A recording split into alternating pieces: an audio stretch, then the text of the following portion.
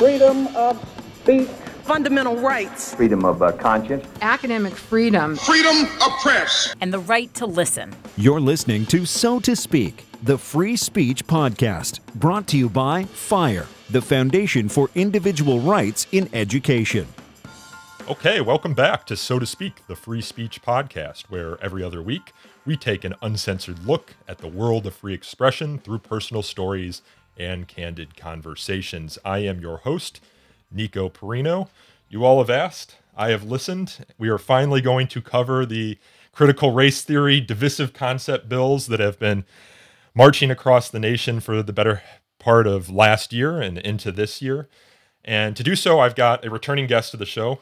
Many of you are hopefully familiar with him, Joe Cohn. He is, of course, FIRE's legislative and policy director, a past guest. Joe, welcome back. Thank you for having me, Nico. And then I also have, by popular request from one of our guests who couldn't join us today, unfortunately, Max Eden, who is a research fellow at the American Enterprise Institute and the director of its Conservative Education Reform Network. Max, welcome onto the show for the first time. Yes, thanks so much for having me, Joe. Great, uh, great fan and admirer of the work of Fire when it comes to trying to, to host unfiltered, uncensored conversations about sensitive issues. Well, that's what we're hoping to do here today. So, these divisive concepts, inherently divisive concepts, uh, often more colloquially known as critical race theory bills, have been propping up, popping up, I should say, across the country since you know early last year, maybe late 2020. Um, I live here in Virginia, and Gov- Governor Glenn Youngkin was just sworn in this past weekend. And one of his first acts was to issue an executive order essentially taking the first step to quote end the use of inherently divisive concepts including critical race theory in K through 12 public education. Max, my understanding is you're a supporter broadly speaking of these efforts and these executive orders. What's the underlying problem you're seeing that you think these bills address? Yeah, the I might uh, take a step back first and ask, you know, what's the what's the precipitating kind of legal cause for this state level reaction, which is frequently, you know, kind of politically labeled a backlash, right? And the way that I see it is that this is a state level reaction to the federal government refusing to equally enforce the equal protections inherent in the Civil Rights Act, uh, which was an attempt to shore up the equal protection clause of the 14th Amendment, right? But we saw over the course of 100 years after that 14th Amendment was passed that states were not making good on the promise of equal protection. And because we saw so eminently, plainly, and clearly that states were not equally protecting their citizens, uh, the Civil Rights Act was passed to make that into a federally protected, federally enforced issue. Unfortunately, what we've seen uh, over the past five years, in accelerating form over the past year, um, is that the federal government is no longer equally enforcing the Civil Rights Act. Back in 2015, the Obama Department of Education's Office for Civil Rights uh, investigated a school district. It might have been Evanston, I'm not quite sure which actually, and said, hey, you can't segregate students by race. uh, and you can't send racially coded messages of supremacy and inferiority by race. That's that's plainly illegal under the Civil Rights Act. Uh, basically, the first thing that the Biden Office of Civil Rights did was to uh, do what might have been entirely historically unprecedented, which is they suspended a decision made by the previous civil right by the previous OCR, and that decision that they suspended said basically you can't segregate students by race and you can't broadcast uh, messages of race essentialism as truth to students. And so was that the the Trump White House's executive order on combating race and sex stereotyping? Uh, it was down. It was downstream of that. There was an okay. there was an OCR decision that was kind of made in that spirit, which to my mind, and it's interesting. I mean, it's good that we're recording on Martin Luther King Day. To my mind, that's the spirit of the Civil Rights Act and the spirit of the Fourteenth Amendment. But it's not the spirit of equity. The spirit of equity, uh, as kind of implicitly declared by the Biden Department Office of Civil Rights says that you kind of can and perhaps should discriminate by race as long as you're engaging in anti racist discrimination, which under the Kendian dispensation uh, is that the remedy to past discrimination is present discrimination, remedy to present discrimination is future discrimination until we get to equal outcomes. So, when, and when you say Kendian, you mean Ibrahim Kendi, author of what was his famous book? Uh, How to Be an Anti-Racist, which is kind of you know warmed over, popularized critical race theory that he d- denies is critical race theory, even as he says, you know, that he that it's foundational to his thought, which which it is. Um, and so, what we're seeing from a legal perspective, and I'll I'll, I'll, stop in a second. Sorry for going on a little bit to set things up. But no, this is important background. I appreciate it, man. But what we're seeing from a legal perspective is a sense that the Office for Civil Rights has been essentially colonized by the critical race theory project, which was to use the apparatus of civil rights to undermine the written rule of civil rights under the thesis that the Civil Rights Act itself was a tool of hegemonic disempowerment uh, that would disempower black, brown, minority people. And so the way to attack that is to try to reconstruct race as a source of social power. And the sense that there is a selective civil rights non enforcement at best, civil rights anti enforcement at worst, combined with the legacy of the you know so-called racial reckoning of 2020 and the cultural shift that that has uh, put into academia has led states across the country to, in my view, try to reassert the spirit of the 14th Amendment, the spirit of the Civil Rights Act, the spirit of Martin Luther King, uh, within the context of a system where, for example, in Indiana, they will have a, they broadcast a kind of like three part moral structure where, to my recollection, it's kind of like white supremacist at bottom, assimilationist in the middle. And assimilationist is where they put John F. Kennedy Jr. and where they put Martin Luther King Jr. and anti-racist at the top. And this is a strong moral message, and education is fun. This is this is the Department of Education in the state of Indiana. Yes, um, and it's not atypical for kind of how the education establishment blob has gone in terms of morality, but it's very opposed to the moral concepts that parents want their public schools to uh, inculcate. And so what we're seeing, well, it just seems interesting because Indiana you think of as a conservative state. Full disclosure, I went to univers- uh, Indiana University. excuse me. Yes. I almost called it University of Indiana, which uh, is a big faux pas. No, exactly, but, and, and it's and it's on the one hand astonishing when when you see the you know kind of equity chief of Oklahoma Public Schools, to my recollection, favorably citing Mao Zedong and his educational philosophy. Uh, but it's also really not that surprising, given that most of the schools of higher education, their culture is basically established by Paulo Freire, who admired and adored and revered Mao Zedong, thought he had the greatest solution to the problem of conscientization, um, who was really the originator of the oppressor versus oppressed dichotomy that is ascribed to critical race theory with varying degrees of you know strict academic accuracy. But you know, we're in a situation in our country where the people who teach our teachers are unconscious Maoists, and parents are trying to play catch up to what do we do about this? And state lawmakers are haltingly, to greater or lesser, uh, with greater or lesser prudence, depending on the bill. I think it's a building project trying to figure out how do we as legislators kind of reassert the moral order over schools that parents want. Joe, I want to turn to you next. Uh, Fire's been called into these debates, and I know you've taken a lot of these bills, especially taken a look at a lot of these bills, especially those that potentially implicate higher education. So I'm curious uh, your path, Fire's path um, to confronting these, and how you think about them generally. This is, of course, the free speech podcast, so there's a free speech nexus here that a lot of people are concerned about. So if you could speak to that I think our listeners would be interested in hearing that perspective.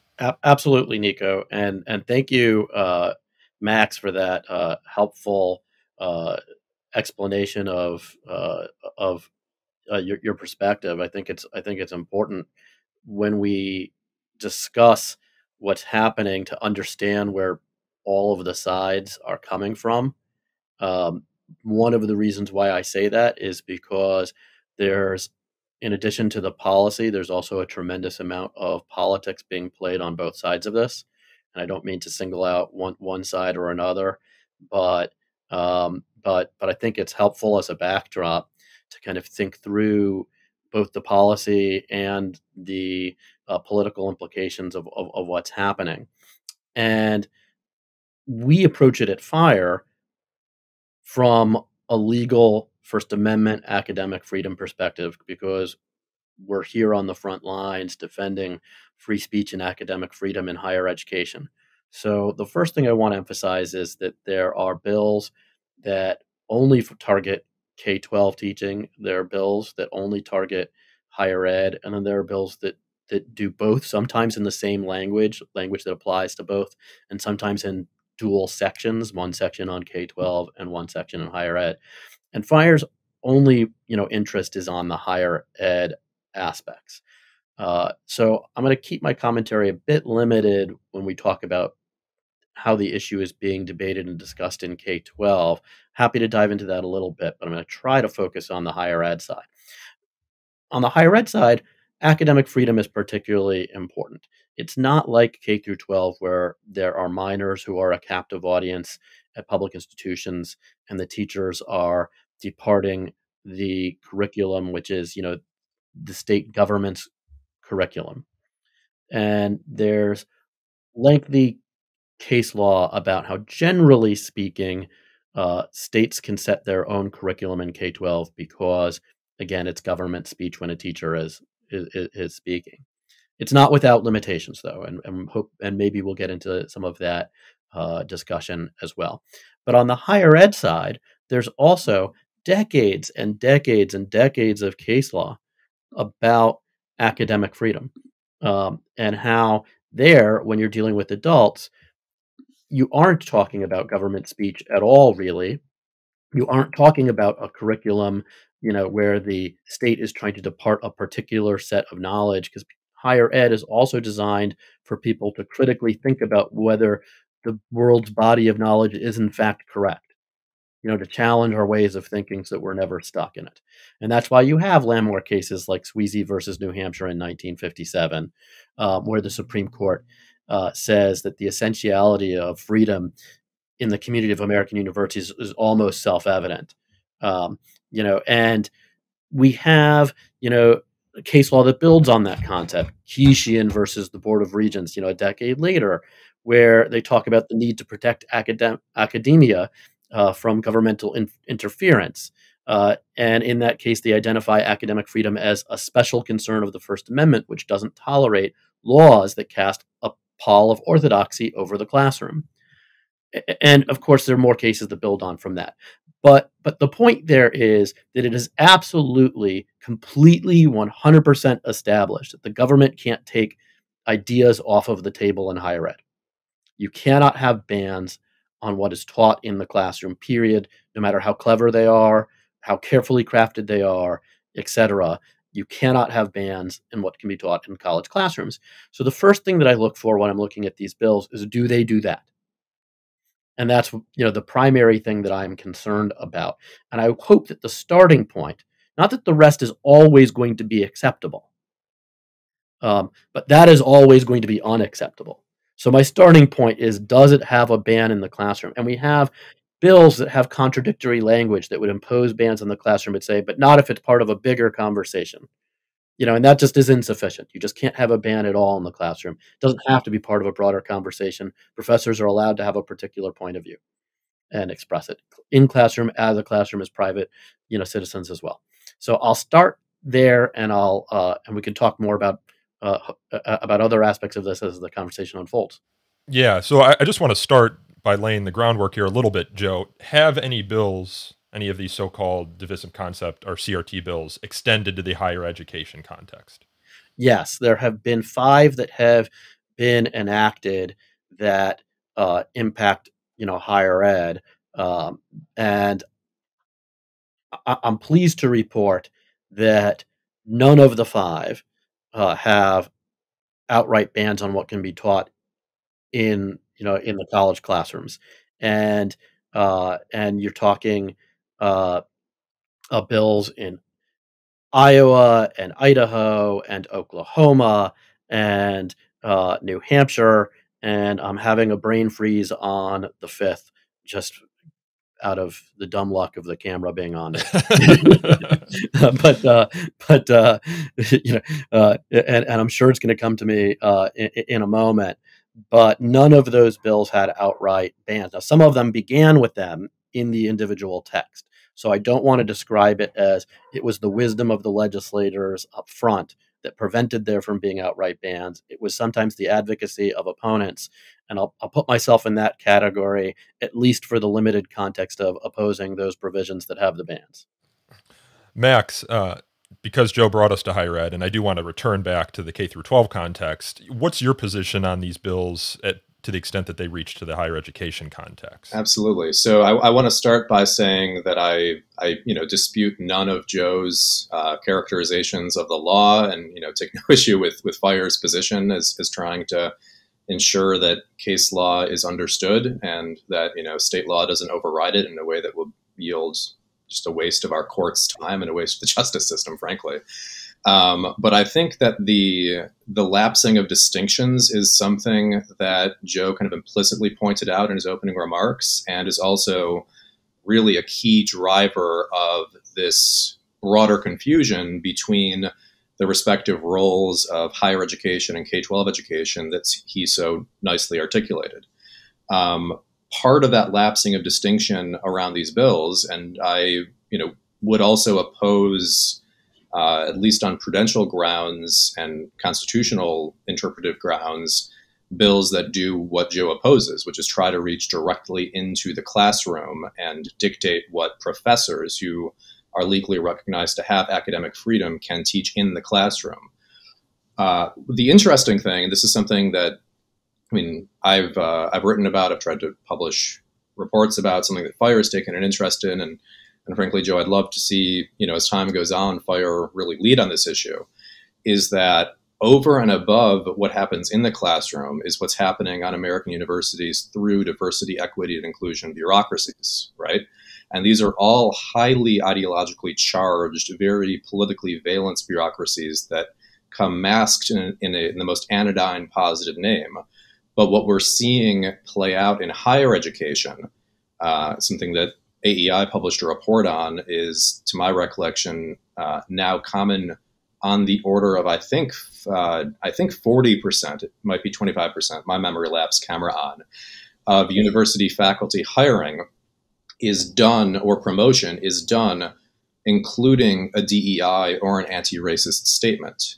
And this absolutely casts a pall of orthodoxy among all higher education among the higher education professoriate writ large, right? It it basically says uh, in the in the same way that you know maybe back in the 1880s, 1920s. I'm not literate enough to know for sure, but maybe in the same way that we used to have certain kind of pro-American implicit litmus tests for becoming a professor at Harvard or professor at Yale.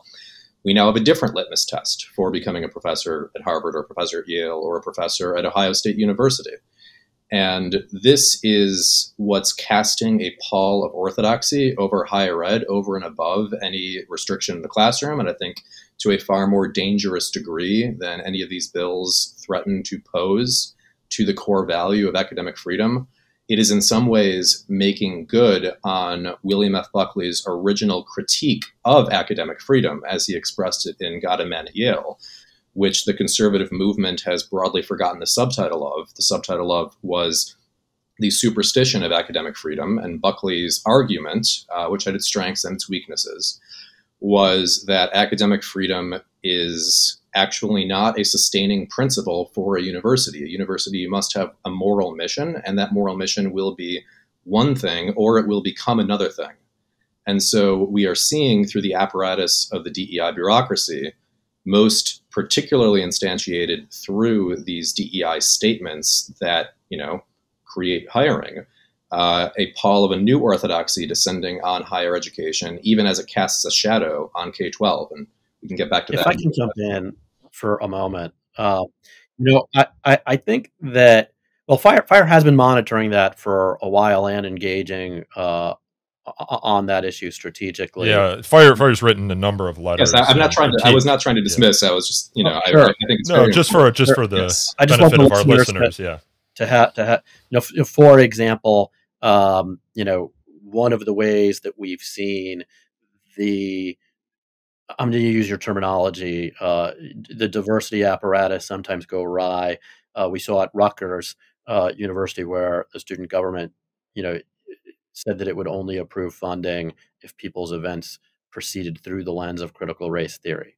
So while we wouldn't accept bans, we also, you know, won't accept, you know, the compelled speech requirement that people, you know, argue make, make those particular arguments. And, you know, and, and we've also been involved in the faculty side where faculty members were uh, compelled to agree with particular, you know, points of view as conditions um, you know, of, of their remaining employment. I, I, I, don't know if we've gotten involved at the hiring stage, um, you know, but uh, I, but in either event, I don't disagree that there are serious implications to academic freedom in the ways that there are sometimes abuses here.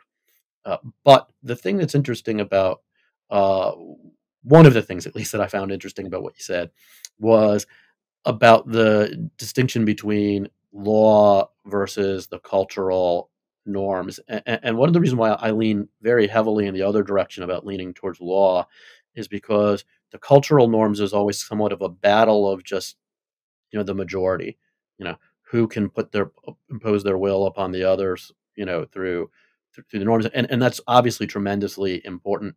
But you have con law constitutional law there to be the guardrail against that kind of majoritarian rule. And academic freedom is really about making sure that the unpopular professor can still speak their mind, that students are still exposed to those views, uh, and that and that the world still gets to be challenged. Um, so, uh, so I think about it in those terms about in higher ed about how to maximize uh, academic freedom. Not because I think you know that, there aren't threats about how things are happening outside of the classroom, but I hate to boil things down to the question of which is a bigger threat. To me, both are real problems uh, when, when when when when there when there are abuses, and I'm and I'm happy to be on the front lines working on either one. The Max, you brought up uh, William F. Buckley Jr. and his superstition of academic freedom, but I, I have to wonder, you know, if universities don't commit to being one thing, they can be another thing. Ultimately, just puts universities in the position of a culture war, right? To speak to Joe's point about majoritarianism, whichever majority happens to be in power, ideological majority that is, at a college or university, their norms will prevail. So I don't see how attacking the legal concepts or the principle of academic freedom actually achieves any success for conservatives concerned about critical race theory because if you eliminate those guardrails of academic freedom, you're just going to get critical race theory, uh, given the all the data we know about how um, liberals or progressive predominant predominate within the university environment. But I also, you know, see the point as well that if that's and, and Joe's concern about legal standards, well, one of the pre- precepts of critical race theory, according to Richard Delgado, is uh, the idea that unlike traditional civil rights discourse, and I'm partially quoting from him here, he says critical race theory questions the very foundations of the liberal order, including equality theory, legal reasoning, enlightenment rationalism, and neutral principles of constitutional law. So one could argue that then to let critical race theory predominant within the higher education environment is to allow for a suicide pact essentially that would eliminate the legal undergirding of academic freedom. Yes, those are all extremely astute points, uh, and points that you know I think I've, I've I've considered, and I think have been kind of considered broadly amongst conservative intellectuals. And the you know the reality that the guardrail of academic freedom would not be to the broader conservative benefit, as you pointed out, is part of the reason why you know even bringing up this question is something that's frankly better reserved for a podcast such as this than for you know Twitter battles back and forth in the political realm, uh, because there's a there's always a question between you know of political prudence when trying to think through uh, first philosophy. But the first philosophy question that you articulated, uh, which was basically the intuition that Buckley wrote on, um, in many ways very unsuccessfully in retrospect, uh, was that um, is it is it really a good uh, with a capital G constitutional order if the constitutional order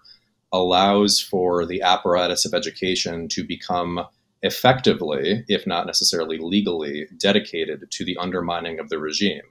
Which gets to kind of much deeper political philosophical questions about the real nature of liberal democracy, how our understanding of that has evolved over time. Um, so there's, I mean, we could spend five hours talking about that, but I, I just wanted to affirm that you put your your finger on some very important threads there. I, I was just going to say that that that that one of the things that that that I think about it is, you know, why are we here? And and it and, and I draw back at you know your opening kind of remarks, um, Max, where you were talking about uh, the Biden administration's handling of the segregation complaint and the deep distrust that there has been amongst conservatives about whether or not anti discrimination law will be evenly enforced. And, you know, what I would say is I don't think that that's an imaginary concern. But when I compare that to the harm that's created with with the ideas that have been legislatively introduced to try to even that playing field, uh, when they include these bans, it's such a strong overreaction, in my view, that has these tremendous unintended consequences that Nico and I have been describing about taking the guardrails off of protection, protecting oneself against that majoritarian uh, concern. So, I guess when I think about it, my my you know proposed solution would be, you know, these these anti-discrimination laws also have private rights of action. You don't have to only file your complaint with the federal Department of Education. And a lot of states have equivalent, almost identical, you know, language in state law that's anti-discrimination in terms of Title, you know, six, you know, corollaries. I don't understand why we aren't just pursuing complaints at the state level there. Because I've, I've always thought redundancy and protections is a good thing when you don't think that one branch, you know, or one state or the feds are, are, are doing their job. I mean, that's why you have individual states that also have uh, have, have state level EEOCs, for example, and why the feds have one in case the state doesn't do their job. Can I just chime in here uh, to help kind of frame the question and then turn it back over to you, Max? So you have some of these bills. For example, there's one in North Carolina. I don't know where it stands in the legislative process or with their legislative calendar that, for example, says that uh, it should prohibit public K through 12 schools from promoting concepts such as an individual should be discriminated against or receive adverse treatment solely or partly because of his or her race, or that one race or sex is inherently superior to another race or sex. Um, concerns that may or may not implicate Title VI and are probably less controversial than what you're seeing in some other bills, such as ones in Arkansas, Oklahoma, Tennessee, that say, you know, that prohibit making part of any course anything that an individual should resultly feel discomfort or guilt or anguish or any other form of psychological distress on account of his or her race or sex. One seems acutely discriminatory, uh, or at least the concepts being taught are acutely discriminatory. One seems like fairly vague, right? I mean, people can feel discomfort at a lot of topics that are taught within the course of any K through 12 ed- education or guilt. And, you know, these are all subjective feelings that are not clearly defined and might, as a result, have a chilling effect on how teachers approach, you know, even the topic of slavery, for example, in their classrooms. Yes, absolutely. So uh, I'd like to hit on one theme that we, we were discussing before I jump straight into that, which is in, in many ways, this can be understood from like a primary kind of first philosophy perspective on the battle over what the Civil Rights Act actually meant. And the first critical theory of the Civil Rights Act was critical race theory, which was it, it, it, kind of meant disempowerment, disillusion, a new hegemonic order of white supremacy, but a subtler one, and therefore, in some ways, a more insidious one. That was the Kimberlé Crenshaw argument, basically, in Race, Retrenchment, and Reform in 1988. There's a new argument that is gaining traction in kind of right intellectual circles that's best articulated by Chris Caldwell in his Age of Entitlement. And that's kind of the inverted Kimberlé Crenshaw argument in some ways.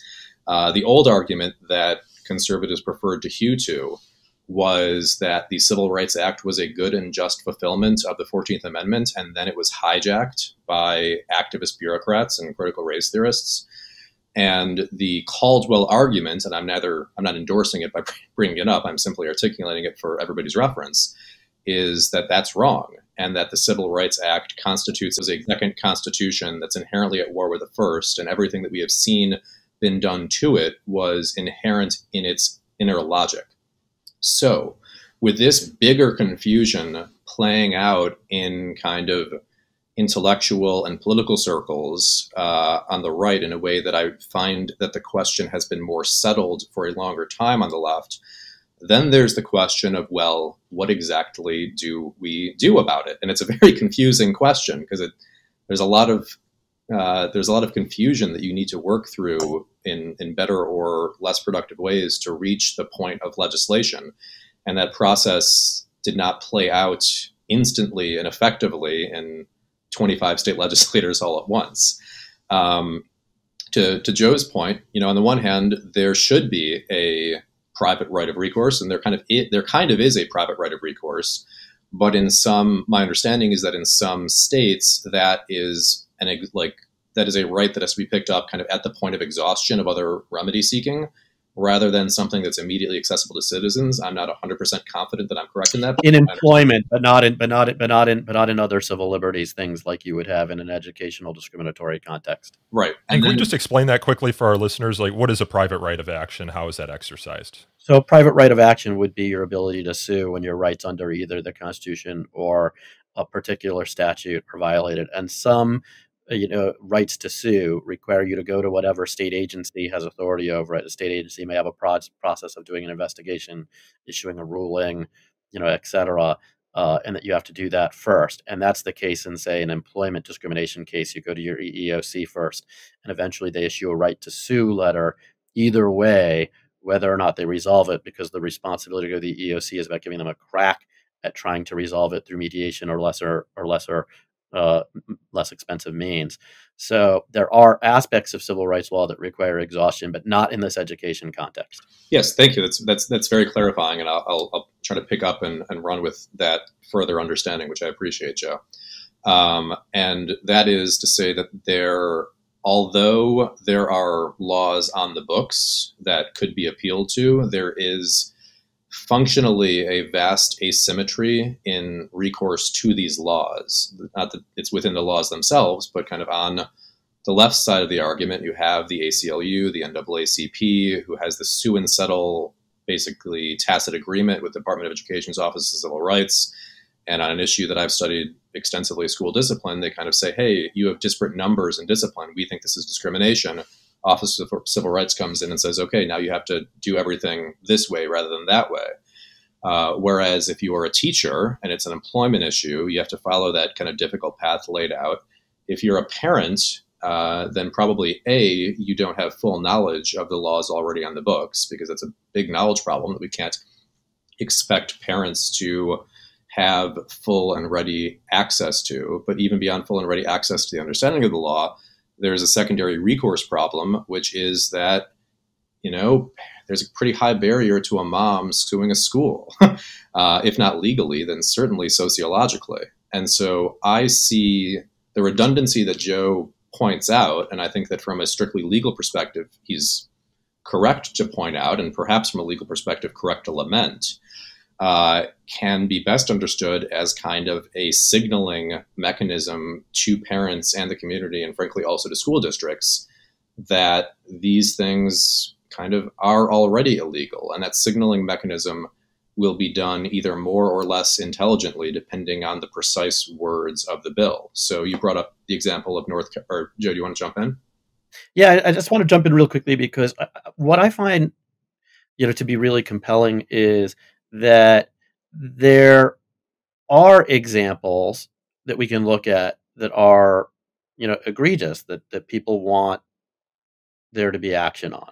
You know and what i'm going to just give a k-12 example from uh, from just you know this weekend where a new york you know school was exposed for having a spanish teacher asking you know telling their elementary school students they had to translate sentences from english into spanish you know you're mexican and ugly you're american and you know and you know, and I think it was, you know, beautiful or something like that, um, uh, along those lines. And people are, are legitimately upset. And then there are other situations, you know, my colleague, you know, uh, uh, Bonnie Snyder wrote a book called Undoctrinate, where she cataloged some of the examples across the country that are you know, probably some of the more uh, egregious examples of the anti-discrimination rationales gone too far, uh, and, uh, and and I think what the conservatives are saying is what you're making the argument on, which is, you know, it, it's a lot to ask for individual parents to fight these one at a time through litigation, and they should just be able to rely on their government to not do it in the first place. And we're passing law to say don't do it. And and and, and while I understand and appreciate that instinct, when it the legislative response says don't do it is as broadly written as these bills tend to be, the amount of conversation that it stifles that's even close to the legal lines is also pretty large because bans are rarely as narrow as people think they are. And in a pluralistic society where we really are confronting deep divisions and wounds over race and sex and other things, I lean towards us being better off with better and deeper conversations and dealing with those abusive examples after the fact. I mean, that's where we lean, you know, at Fire, generally speaking, specifically in the in the high, higher ed side. But but it, it's worth I think conservatives thinking about as well because of the very culture wary nature of of of dealing with it through these bands of no no no your side is doing this capture your side is doing this capture that leads itself to the us versus them mentality that just doesn't ever get us across that finish line. Can i can i frame this up with you know a question here? So it seems like to me someone who doesn't work on this every day but is very much aware of the conversations especially within the first amendment community like we're talking about two things there are the parents in North Carolina who say that their kids were forced to stand up in class and apologize for their privilege. Uh, there's uh, schools in Buffalo that are apparently teaching students that all white people are racist and are guilty of an implicit racist bias. You know, I was told by my colleague Bonnie about a former fire intern whose sibling objected to some sort of class performance or class walkout. I think it was a walkout, either for race or gun control. And the school's solution to that objection, because the student didn't want to participate in the walkout, was to have them stand in the middle of the football field as the rest of the students walked around the track during their protest, almost kind of single singling someone out, isolating that. That seems to me to be discriminatory, whether it's you know, title Title Six or, or whatnot. But then there's this other conversation about critical race theory. And if you look at Glenn Youngkin's executive order, it's it's pretty explicit. It says that end the use of inherently divisive concepts, concepts up being ideas, including critical race theory.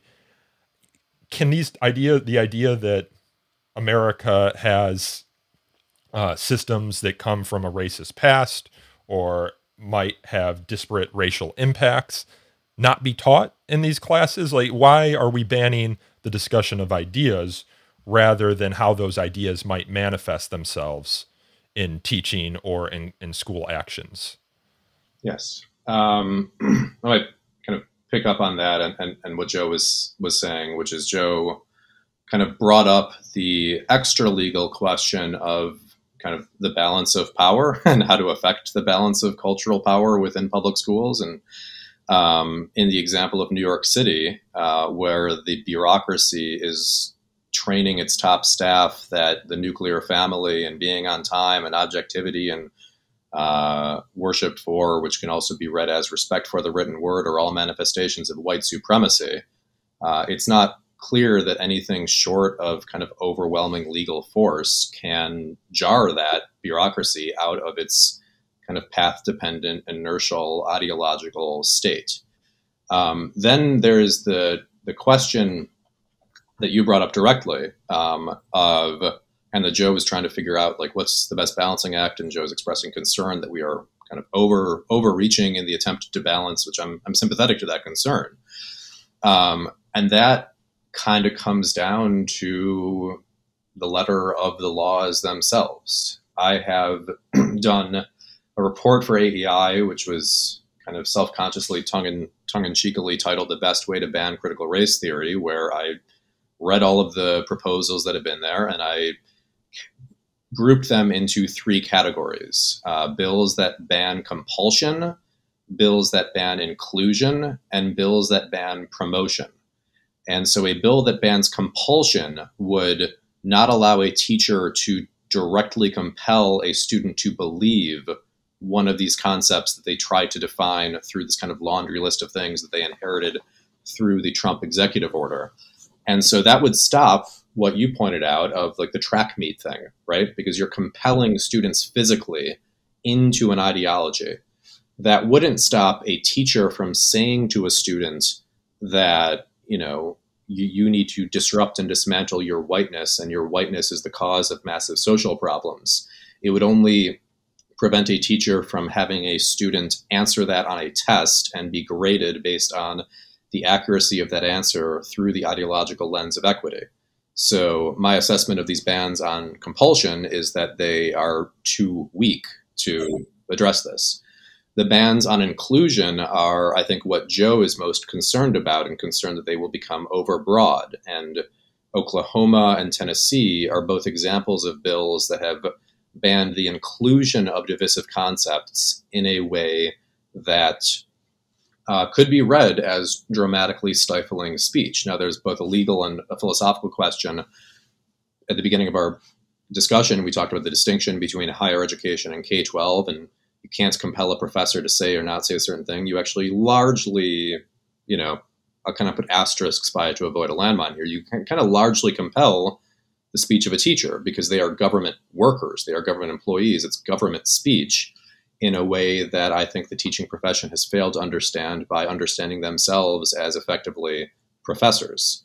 So this concept of banning inclusion does run a real risk, and however you you weigh the the merit or the flaw of that risk of compelling the speech of teachers in a way that would be distinctly limiting, which there are different views on that. Um, how those bills are then interpreted past the point where they are implemented is really where you know the rub lies. Oklahoma interpreted their bill very aggressively. Tennessee, frankly, interpreted their bill through regulation pretty passively and in a way that I don't anticipate as having uh, that many practical, problematic implementations from a free speech perspective. The kind of bill that I'm most sympathetic to is the bill that you had referenced in North Carolina, which banned the promotion of these concepts. And it had a tripartite definition of promotion that I thought was quite astute. Part of part of it was compulsion. Part of it was contracting for professional development services, wherein you don't really run into this question. There's there are plenty of policy reasonable reasonably reasonable reasons to ban DEI consultants from you know training teachers without getting into this question of are you banning a teacher from saying something? But then the real interesting thing, and what I thought was a great innovation, um, was that it defined promotion as uh, kind of displaying, telegraphing, teaching these concepts to students as though they were true, or in a way that would give a reasonable person rise to the belief that the institution of the school believes them to be true. And so this kind of language, which I saw more reflected than not in the Youngkin executive order, it, there was some variation and it, it, it, can't be pinned down precisely, but I saw more of the promotion than the inclusion language in the Youngkin executive order, which would have the practical effect of saying basically that, you know, you're allowed to assign Ibram X. Kendi or Robin DiAngelo as a reading in a class, um, but as long as the teacher does not broadcast it as though what Kendi says is true, then you can retain the spirit of debate, spirit of inquiry, free conversation, and learning environment without running too far afoul of the concerns that Joe has. There are parts of of what Max has said that I that I that, I, that I've liked and I've supported. I mean, you know, for example, uh, the bans on compelling agreement, I think, are constitutional in either the higher ed or in the K twelve space if they're written, you know, carefully. Um, I, have t- I've had some, you know, I'd say relatively minor or more precisely targeted disagreements with the grammar of the sentences and some of those compelled speech, you know, lines in the bills, but don't disagree with what they're trying to do. Um, with respect to the distinction about the promotion, you know, when you get to the K 12 side, again, there's very different First Amendment implications, and there really usually is not a straightforward First Amendment analysis because of the government speech angle. But there are other constitutional concerns. Uh, you know, whether or not you can have a due process vagueness problem if a faculty member can be punished for doing something that would run afoul of it. It needs to be clear, sufficiently clear what's on and off the table, um, as just one example. And you, you know they need to make sure that it's evenly enforced and not arbitrarily and capriciously targeting particular political points of view. The problem with words like promote in those efforts is promote very strongly, you know, implies uh, that it is a viewpoint based consideration, which cuts against, not definitively, but does kind of cut against a government actor when it comes to thinking about the arbitrary and capriciousness of the particular lines being drawn. And when you think about it, it's because uh, when you're allowed to criticize but not promote something that is very straightforward viewpoint based uh, distinctions, and we're generally skeptical when you're doing the First Amendment analysis of it. And I think that that gets kind of ancillarily pulled into that. Are the lines being drawn arbitrary and capricious when a when a court, you know, evaluates that? So I, I'm not convinced that the language they're using makes quite as careful a distinction that Max is trying to get at. You know, when when, when I want to, you know, us, you know, give some good faith, you know, considerations here, which I think that those who are promoting it do want to have at least many of the proponents want to still have good conversations around race and sex. And I think at the end of the day, that's what I'm most concerned about, even on the K 12 side, is how do we have a world in which students can have age appropriate, complex discussions where where they're you know being asked to think through historical and contemporary issues of race and sex through a critical lens. So uh, you know, I, I, think that that some of this has been boogeyman from both sides. From proponents, I think they're giving harsher criticisms of critical race theory itself that aren't warranted with the actual critical race theory. Divorcing for a moment between from the offshoots of what's happened and come from it, uh, and and on the other side, uh, I think that there is some boogeymaning of how broad some of these bands are. Some of them are much, much narrower to just the parts that Nico you were describing earlier as being more clearly outright discriminatory in, in their behaviors. So uh, I think there'd be we would both sides of this debate would benefit from hearing each other and trying to think through softer middle ground.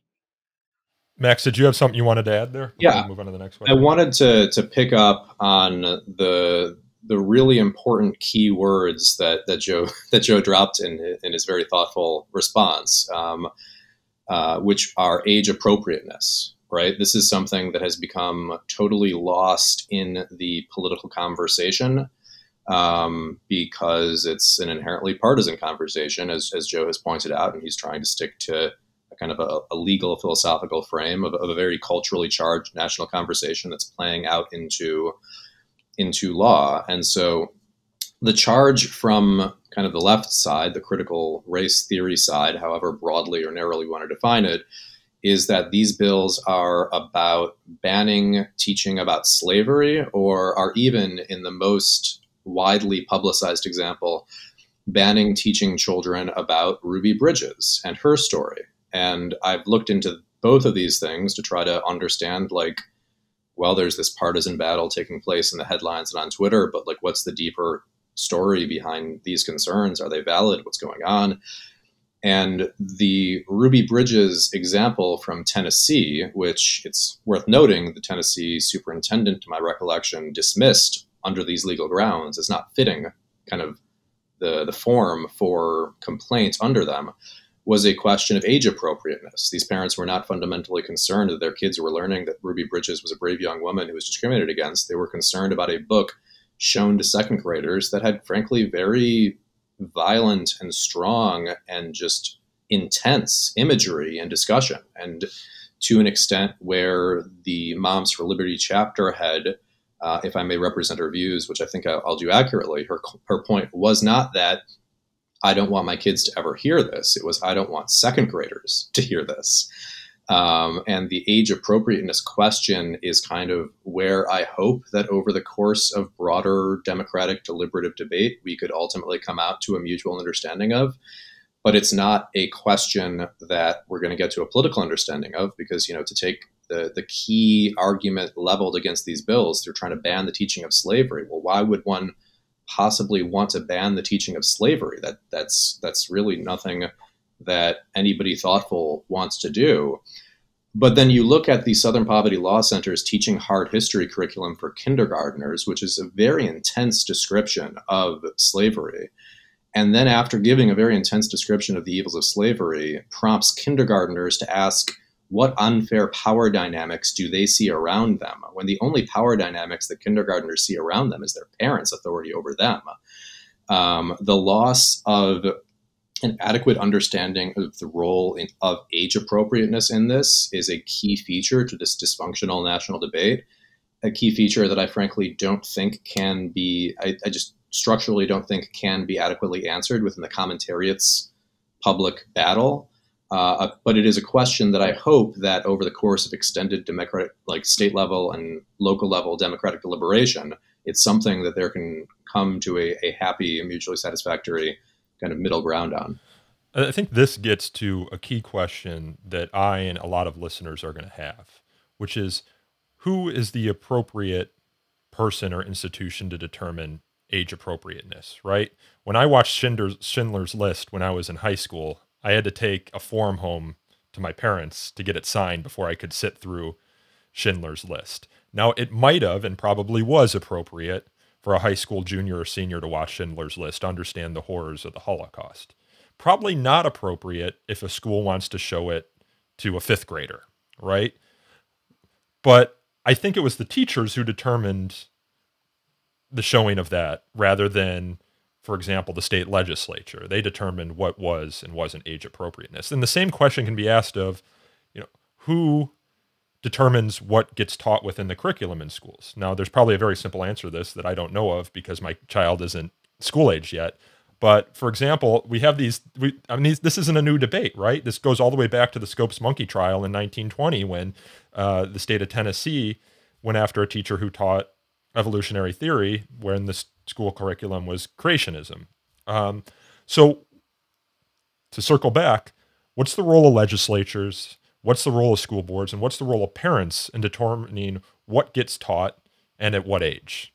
Well, none of those three actors, the legislatures, the school boards, or the parents, should be cut entirely out of the process. Um, and, and I think I, I think that's important. But what I would say is, to some degree, I think the bulk of the responsibility should be with the school boards. And with some parental input, where parents also have the guardrail of access to litigation if there really is one of those examples that in the curriculum, not a one off comment from a teacher, but really crosses the line into discriminatory acts, there is that remedy available to parents as well. And just well, Joe, what do you think about parents' access to curriculum too? Because I remember that's been a debate as well, where some schools weren't even turning over assignments that were taught in class. So it's hard to have that parental check or that parental input if they don't know what's going on. And I, I think part of the COVID nineteen crisis was creating a sort of window for parents because of online learning to see what was taught in the schools and creating a backlash as a result. Well, I think general transparency is a good idea. Uh, and, and and I make that you know the caveat of saying general because there have also been pushes that nothing, and I mean nothing, can be taught to you know to to students unless it's you know pre-approved first and disclosed. And you know that just isn't practical in a world in which teachers sometimes have to respond to current events, et cetera, or students are bringing in you know news articles as you know as part of assignments to discuss all, all kinds of ways we can think about ways in which 100% transparency is either impractical or or, or not an ideal uh, outcome. But general, you know, transparency is, I think, a good thing because parents should be uh, part of this equation, like I said, in terms of having some input here. But what I worry about, and and what we also see with you know w- w- w- with transparency, is there are pushes to just outright have bans on materials because of the political nature of it, and not just on age appropriateness level. You have LGBT content that parents in particularly conservative areas of the country have tried to get banned either from school libraries out of curriculum entirely etc and in some ways uh, you know the the f- fostering a culture in which the parents have complete veto control over curriculums uh, is unproductive as well. So, you know, we have to figure out a way to balance all of those particular interests in a sophisticated way that doesn't lead to mob censorship, but also doesn't lead to concealing the kinds of abusive, uh, you know, discriminatory practices, however common or rare they might be, uh, when they happen in the classroom. Yes. So again, Nico, you put your finger directly on an extremely important question, and, and Joe, you articulated a, a, view that I mostly legally and, and, and structurally agree with, but that I come to with uh, a particular understanding of you know the balance of power as it exists structurally at the moment. Um, in terms of who really controls curriculum, the in my view, the truest answer is it's this strange nexus between the National Education Association and Pearson, effectively, uh, and what both of those entities represent. Right, National Education Association has this thing called Teachers Pay Teachers, where they access uh, you know teacher-oriented curriculum. That's kind of where a lot of curriculum comes from right now in the classroom.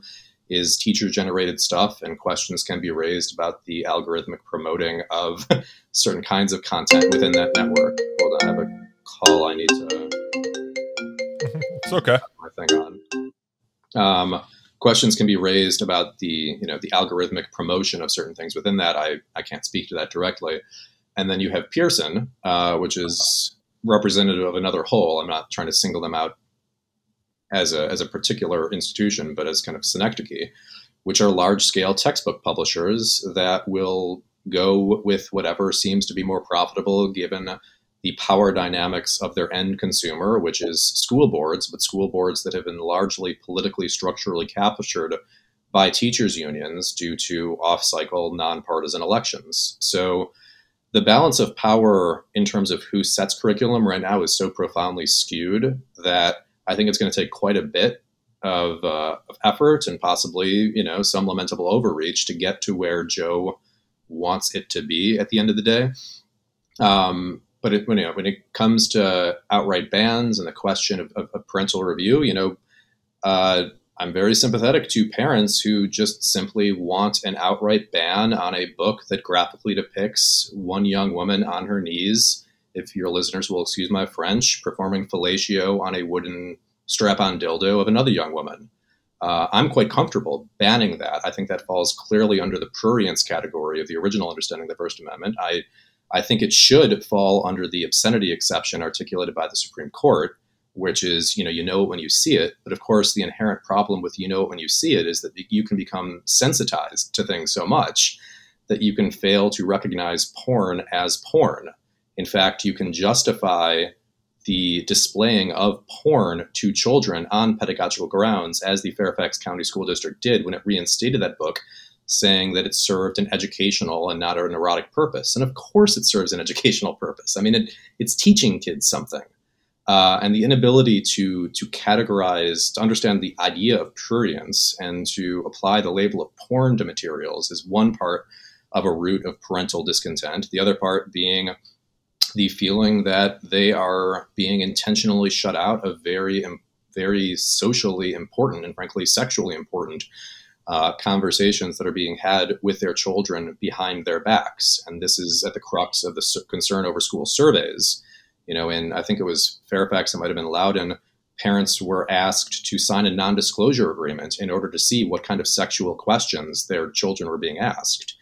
And so, with that balance of power and that balance of information asymmetry structured as it is, I, you know, kind of view any effort to rebalance towards Joe's ultimate goal as progress, even if in the process uh, there are some overreaches that occur.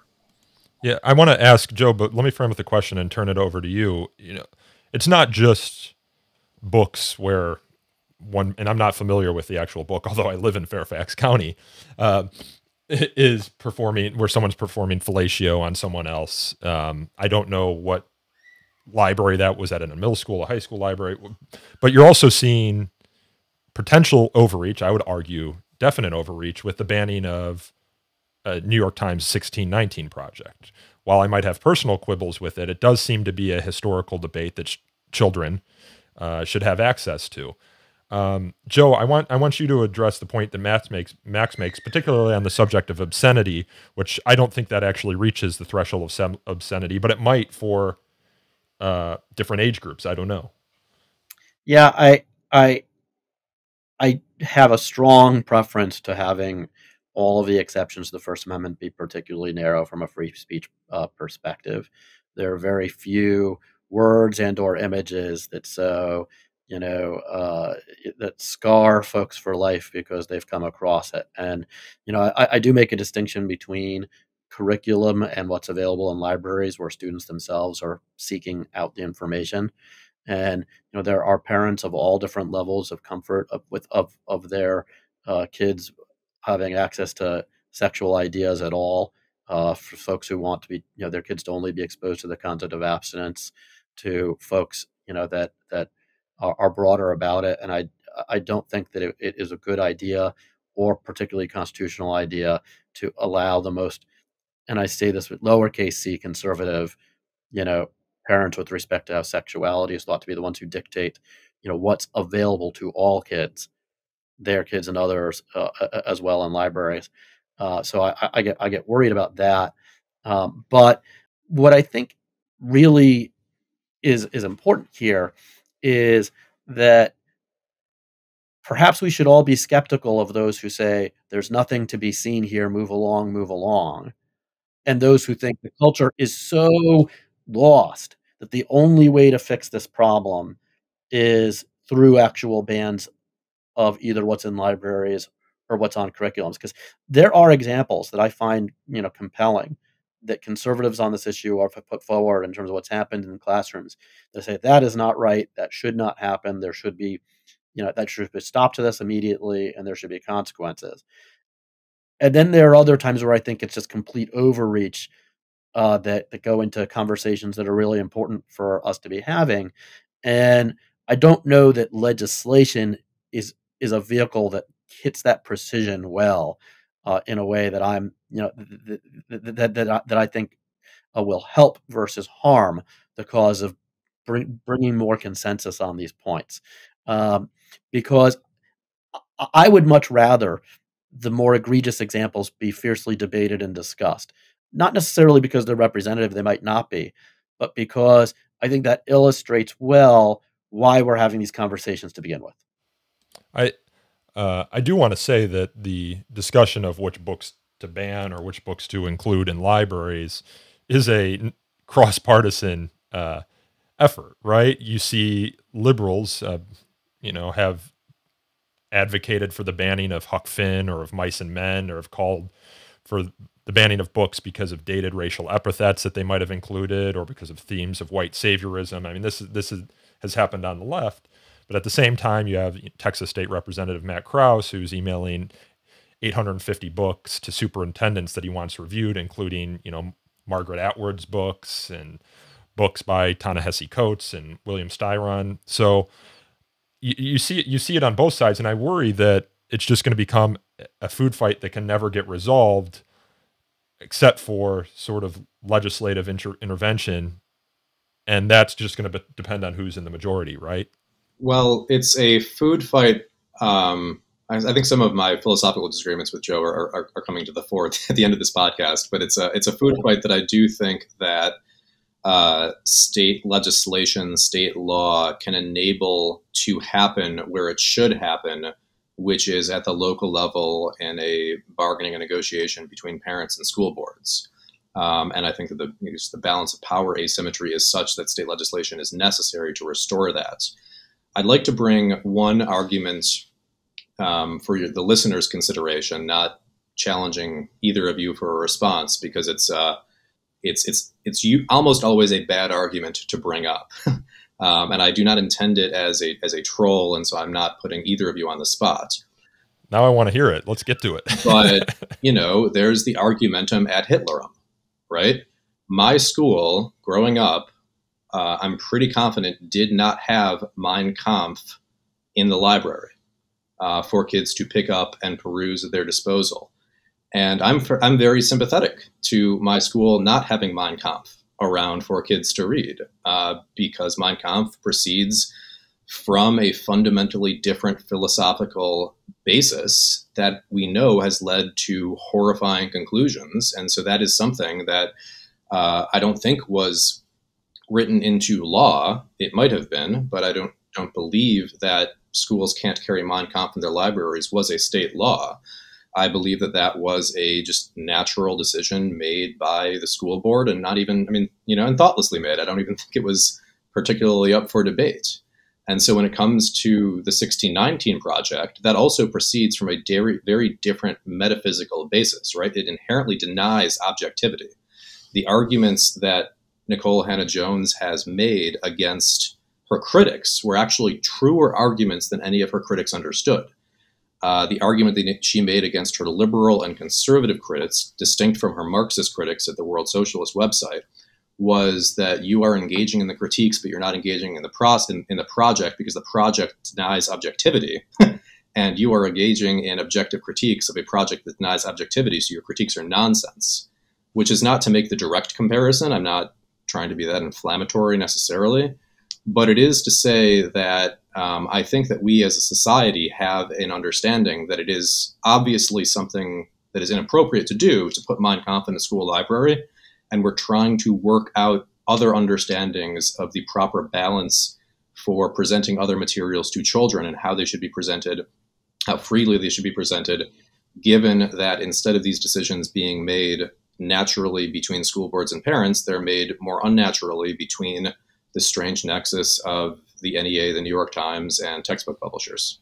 I, would want to make a point here, and I think this gets to the crux of the problem because obviously curatorial choices are made as to what is put into a library, right? And there is some sort of philosophy or thinking that goes behind it, and where you draw the line between what is age appropriate or what actually informs a student education. Reasonable people can disagree about that, and I think you and I would disagree on the value of reading Mein Kampf. I mean, I've read it, and I think I learned more about Hitler National Socialism, and the blind spot that the Western world had to the evils of it um, from reading that book. I mean, Hitler more or less lays out exactly what he's going to do. Um, and I think more people in 1938 would have been benefited from having read it, read it. And, but that also gets to the question well, can you not include excerpts of it in the curriculum? Um, a lot of the ideas in Mein Kampf can also be found displayed in a different manner in Schindler's List. Should my school not have shown Schindler's List either, you know, under the same philosophical theory? I don't know. Reasonable people can disagree about it.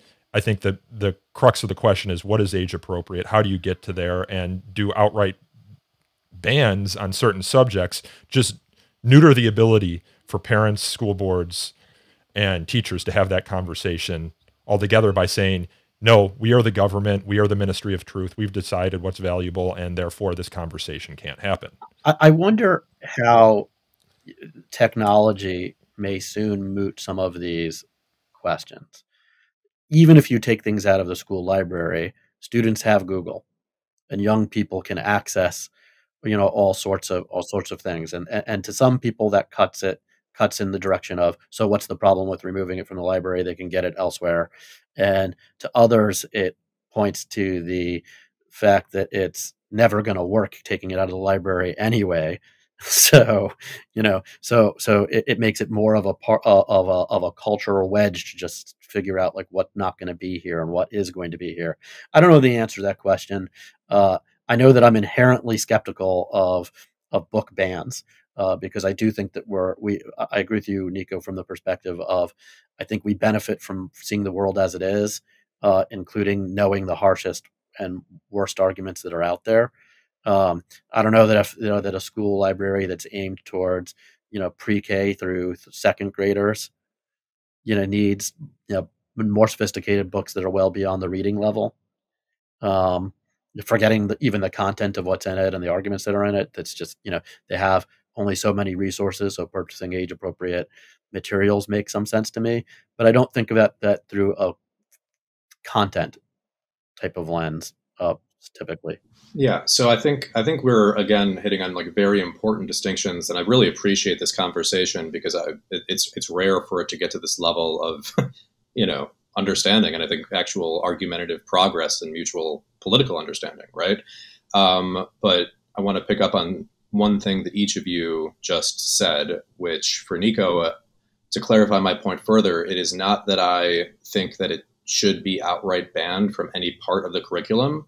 I don't recall reading it in, in modern European history course, but I think it would have been appropriate to present it in a context in modern European history course, even as I will maintain that it's inappropriate to have multiple copies laying around the school library so kids can pick it up and just kind of like explore it amongst themselves in an untutored way. And I think that the reaction that we saw on Twitter to a group of kids somewhere in California with, you know, swastikas drawn on themselves posing as, you know, pro Nazis. I mean, I think that's something that schools have a role in trying to avoid as an outcome of academic freedom. Uh, to Joe's point about the role that technology has played in mooting or modifying or perhaps just generally scrambling these debates, that's a very important point. Um, and it's a point that I frankly think we are, you know, months, if not years away from being able to have even a even a, a basic argumentative, non-productive partisan discussion on, much less like a, a real kind of good policy conversation on, because uh, the old debate used to be about textbooks, right? The physical textbooks. Textbooks don't really school isn't really about textbooks right now. Just like reading and, and, media access isn't really about school libraries anymore. And parents have this sense, and it's frankly a true sense, that the, the tablets to which their children are being glued throughout the day, instead of looking at their human teacher trying to explain something to them in a human way, is being algorithmically populated with content that they don't understand and they don't have control over, and content that, you know, in one example of, uh, you know, a sex ed presentation that was given in a suburban Ohio district, content that's two clicks away from menstrual porn. And parents don't really like their kids being two clicks away from menstrual porn and i'm pretty sympathetic to that um, as, as something that is obscene. Uh, and so everything has been further scrambled by the rise of information technology in our general political discourse and also inside the schoolhouse in a way that makes even the best longest most thoughtful conversations about this still at least for the moment i think you know almost necessarily fall short of grasping the real locus of argument and change that's occurring.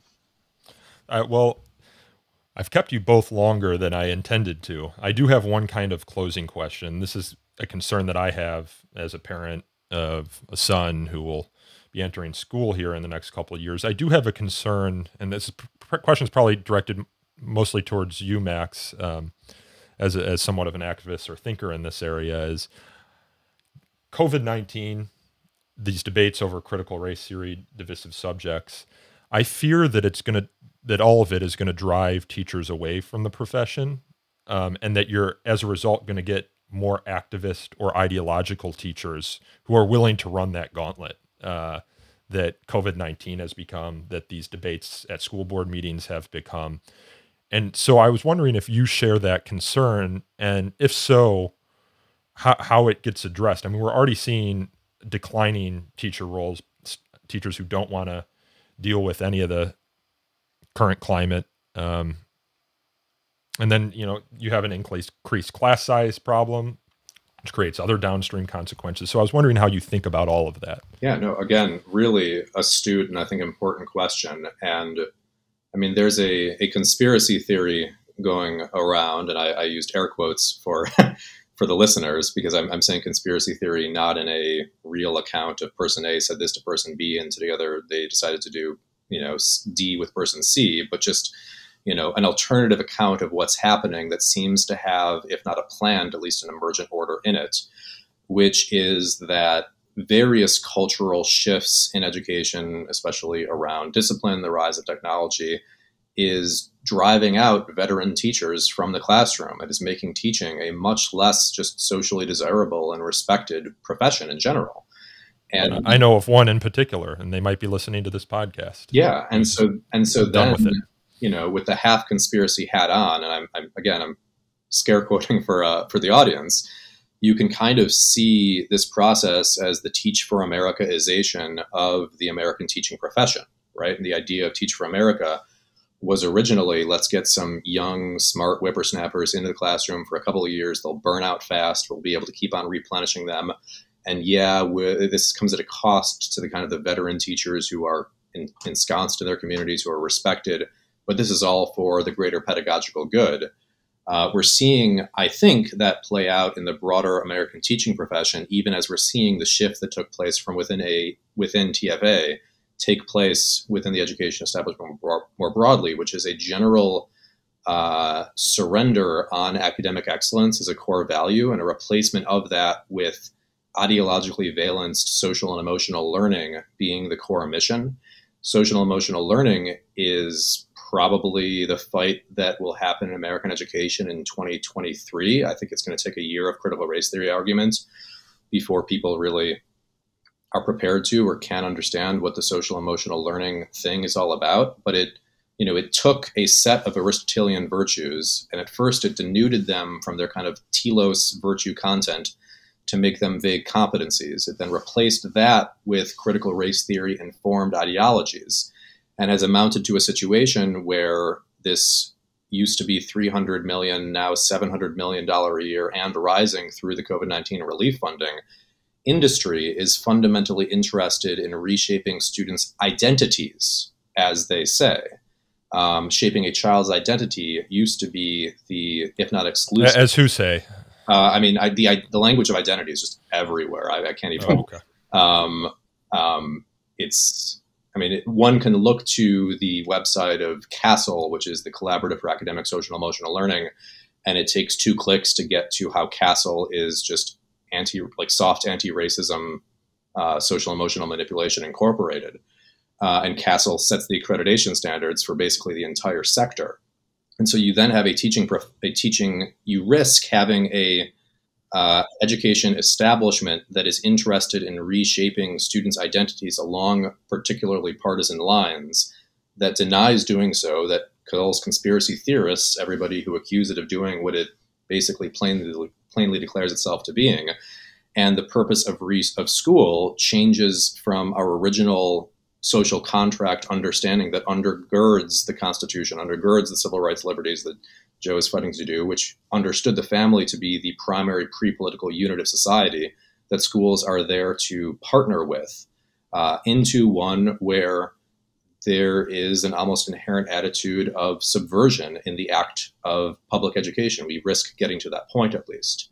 Um, so, this is, I think, a concern that will only rise in the next couple of years, I fear that it can't be adequately addressed by any debate that we're having or any almost any policy reform on the table. And uh, it speaks to a broader concern. Sorry, sorry to, to, mm-hmm. to, to interrupt here, but, but it speaks to a broader concern about the polarization of American society in general. And you know, I don't think it's just the teaching, uh, you know, profession. All sorts of professions are dividing into conservative versus progressive professions, whether it's law enforcement, you know, or or you know, or education, you know, et cetera. And uh, it leads to all of these fights in legislatures that are being fought again on culture war, you know, grounds. Um, you know, which which is which is I mean, why I'm just so worried about the way it is playing out. While I think that both sides have important things to bring to the to the table here, uh, I, I I I'm concerned about the the way that this is being done is opening up more wounds than it is sewing closed. Well, Max, if you don't mind, I think I'm going to have to leave it there because now I've kept you way longer than I promised I would keep you, and I've got a meeting here in eight minutes. So, Max, thank you for coming on the show for the first time. Joe, thanks for coming again, and I hope we can uh, maybe speak sometime in the future. Thank you. Absolutely. Thanks for having me. That was Max Eden. Max is a research fellow at the American Enterprise Institute and the director of its Conservative Education Reform Network, and my colleague Joe Cohn, who is, of course, FIRE's legislative and policy director. This podcast is hosted, produced, and recorded by me, Nico Perino, and edited by Aaron Reese. You can learn more about So to Speak, the show, by following us on Twitter at twitter.com slash free speech talk or by liking us on Facebook at facebook.com slash so to speak podcast. We also take listener feedback at so to speak at thefire.org. And if you have a comment or question for Max or Joe, I'd be happy to forward it on to them if you email so to speak at thefire.org. And if you enjoyed this episode, the best thing you can do to encourage more listeners to the show is to leave us a review wherever you get your podcasts. And until next time, I thank you all again for listening.